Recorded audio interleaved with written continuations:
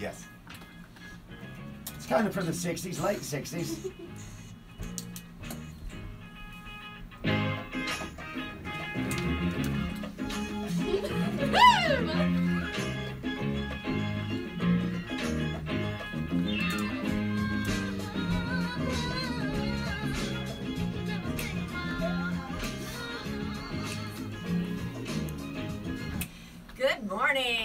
is 10 minutes after 8 o'clock. We've hit that 70 degree mark. WRHI FM 100.1, your home for news, talk, and sports.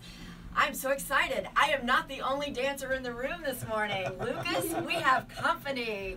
I'm Patty Mercer. And I'm Lucas McFadden. I know you love this. This is fantastic. We are traveling back to the 1960s.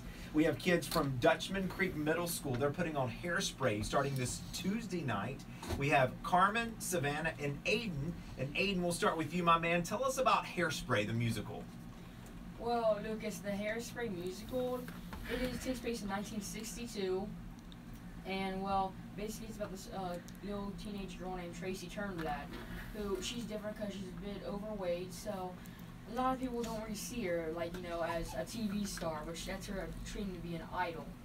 So she goes to audition for when there's an opening for a show called the Corny Collins Show.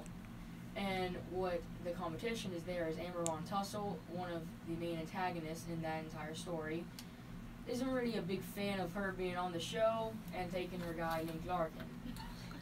There you go. Wow. So the You whole story, the whole, the whole story is pretty much her trying to win a pageant called the Miss Teenage Hairspray Pageant for 1962.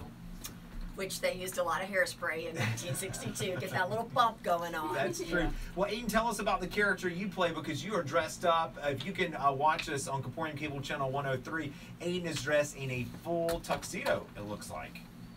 Yes, I am dressed as Corny Collins. I knew play this. him.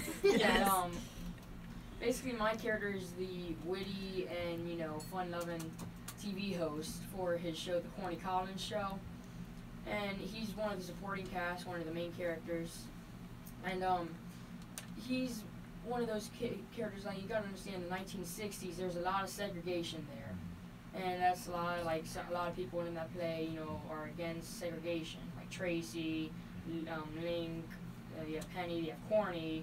You know, a lot of people are against that. And Corny is one of those, you know, he wants to change the show because they always have one day called Negro Day, which is the day that um, all African Americans dance on the show one day a month. So he, what he wants to do is kind of want to just change that and ha- mix all those kids in together to dance.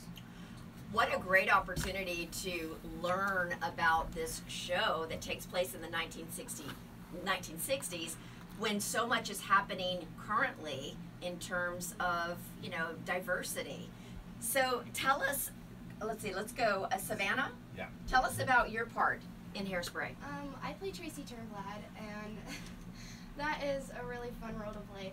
Um, just her her costume and just her um, her character. I put a lot of myself. I see myself in her um, because she's she's she has her eyes set on something that's more important than just fame and um, popularity.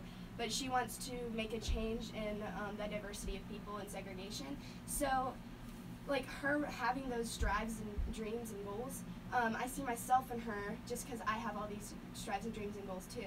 And so um, I wear a wig and a wig cap, and it's, it's fun, and um, and it takes a while to like pin it in so it doesn't fall off. and, and I love this. fun. She has this huge dress, and what about the dress you're wearing right now? That is Yeah, so colorful. is- yes. It's legit too, I understand. Yes, Like, um, it was worn by um, Miss Fort Mill, uh, Virginia Cook um, Buchanan, um, in the 1960s, and this is like this is the dress where she um, won the pageant. of course she did. Yes. It's beautiful. Thank you. Um, this is Tracy's ending number for "You Can't Stop the Beat." Um, I got my go-go boots too. Oh, Nice.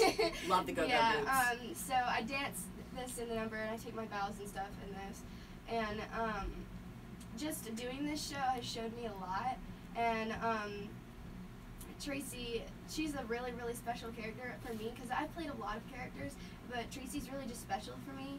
Um, not because it's my, it's she's also just my um, last middle school character, but she's a lot of me. Um, and I use, I, I don't really use my own voice or any of these, but a little animated. So um, Tracy's pretty pretty much me. She's just she's crazy. She's fun loving. She she doesn't give a crap what other people say. Yeah. And Yeah, she's real. she is. She Yeah. she is a real real friend, and she loves her family.